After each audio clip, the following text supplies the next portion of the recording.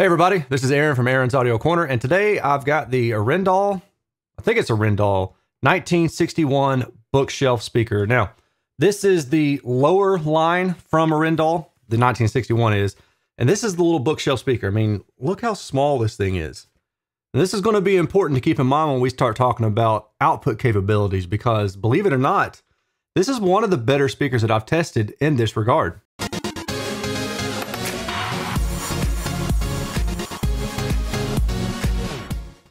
This is a two-way design with a 28 millimeter tweeter and a waveguide, as you saw. It has a five and a half inch midwoofer in a sealed enclosure. Very, very small, crossover frequency of about 1500 hertz, and they cost $7.99 per pair, and I believe that does include free shipping, at least in the US. In terms of sound, subjectively, what I heard, this is really quite simple. Um, it's an excellent bookshelf speaker, very, very small, as I keep saying, because I, I can't I just can't get over the the smallness. It's super compact, and I think that this is probably going to be.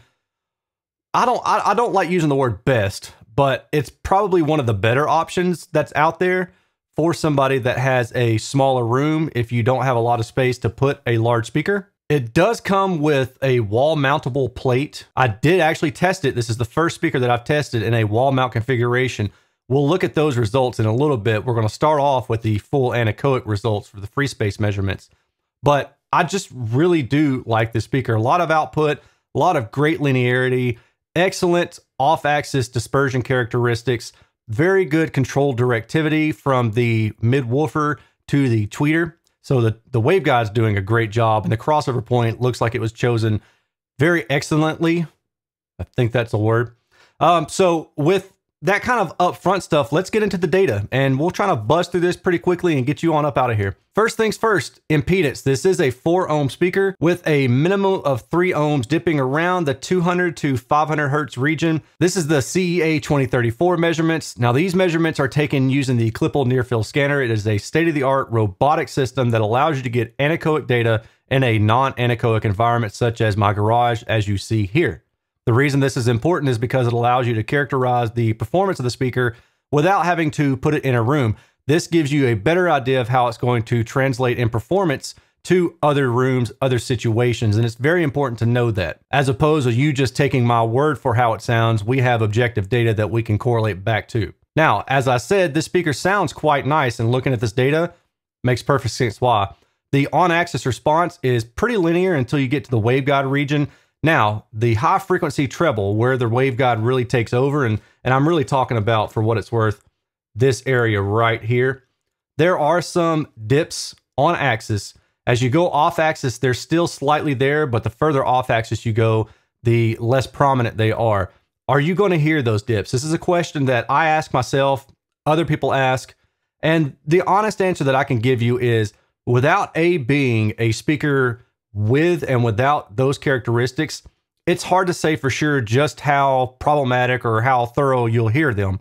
And you're not going to find a speaker that has all the other characteristics to allow you to properly A/B just that that facet. So what I'm going to do is I'm going to play you some correlated pink noise real fast. This is going to be flat, and then I'm going to switch over to correlated pink noise with some parametric EQ to emulate this and you see if you notice it and you see if it's a big enough difference. Now, again, we're talking about on axis and slightly off axis response.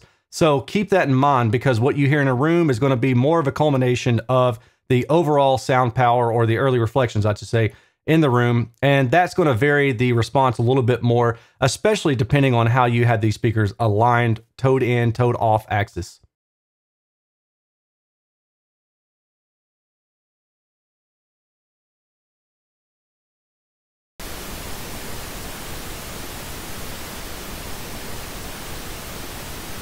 Now, I'll let you make that decision whether or not this is going to be a problem. The average sensitivity is about 84 dB, which is not great, but with a speaker this small and the ability to get as loud as it can get, I think the sensitivity is not a big issue here, in my personal opinion. We'll talk about compression measurements in a little bit. On the low end, this speaker rolls off pretty early, so you definitely want to pair it with a subwoofer. There's just no doubt you cannot get by without a subwoofer with this speaker. It does have good bass. I'll, I'll certainly give it that, But if you're wanting that low end output, even below, I would say like 60 or 70 hertz, you're still going to want a subwoofer. I think this speaker is best used as a set of front speakers with a good subwoofer. I would say cross that subwoofer over maybe up as high as 100 hertz, or alternatively, you can use them as rear surround speakers. Now, the orange dash down here is the directivity index for just the horizontal window, and that gives us a good idea of the EQ ability of this speaker. And if you follow it up, you can see that it has a pretty smooth trend line throughout until you get to around this 8 kilohertz region where that, that dip is on axis. Although that dip isn't severe, you could actually EQ that on axis dip up a little bit if you wanted to. Again, it just kind of goes into whether or not it's something that you hear in your room. Personally speaking, I don't find it to be problematic with all things considered once it's placed in the room. And then this estimated in-room response kind of gives us an idea of why I say that, why I think that, or or why my experience was that the on-axis dip wasn't as significant as the data lends you to believe because when you're in a room, you have all of the off-axis reflections coming back at you. And ideally, you want those off-axis reflections to sound about the same in timbre as the on-axis sound does. But those off-axis sounds also are a bit more even for this particular speaker. So they help to fill in that gap or that dip that's in the higher frequency area. And you can kind of see the general trend line from the speaker. So generally speaking, you can expect to have a little bit of presence region may be knocked out just a little bit by about 2 to 3 dB in this one and a half to two kilohertz region. There's really nothing about the speaker that stood out to me in a negative way. I was just frankly impressed with the linearity, the output, and the overall ability to just sound good from multiple seats in my home theater without it being a huge speaker. Now we're talking about the horizontal off axis radiation pattern. And this is a pretty constant directivity design, and it trends toward about, let's see, plus or minus 40 degrees in the high frequency.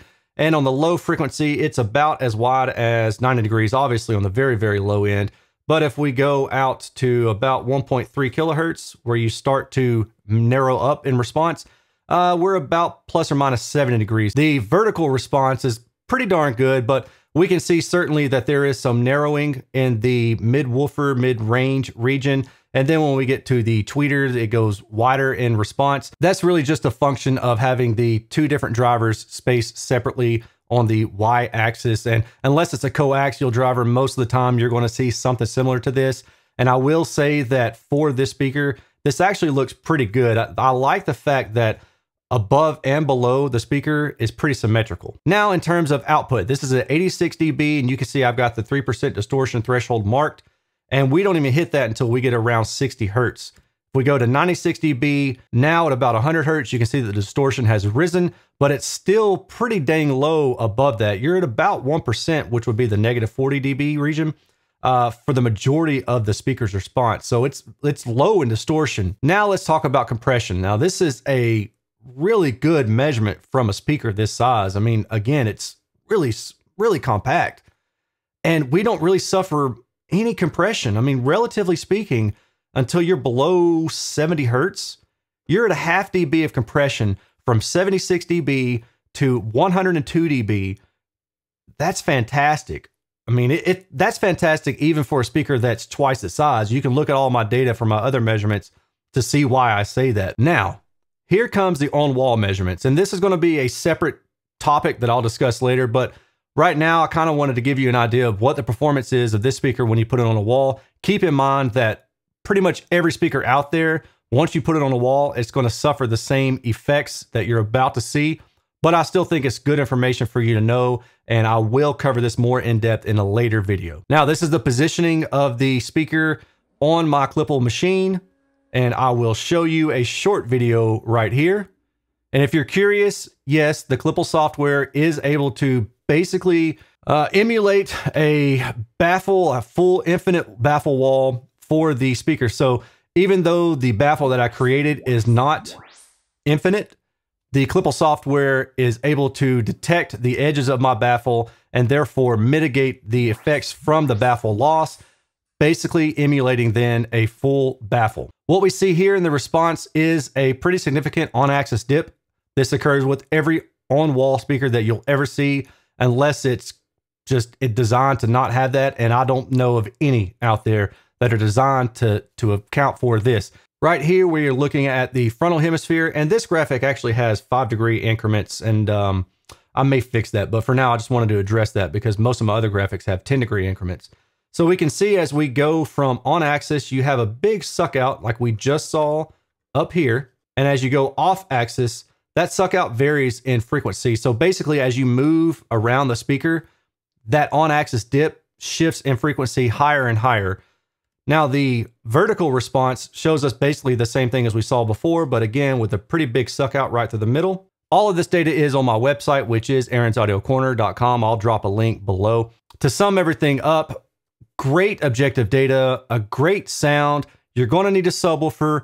Play around with toe in, toe out a little bit. If you decide to put them on a wall, keep in mind the data that I showed you. You are going to have a suck out depending on where you're sitting.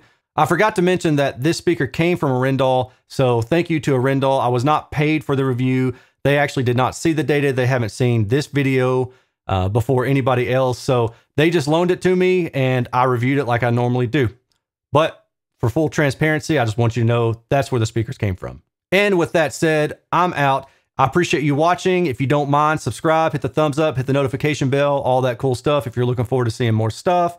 If you would like to support the channel, you can do so by joining my Patreon, patreon.com slash Erin's Audio Corner, or you can use one of my generic affiliate links below to buy anything from speakers to underwear. It's always good to have clean underwear, so keep that in mind.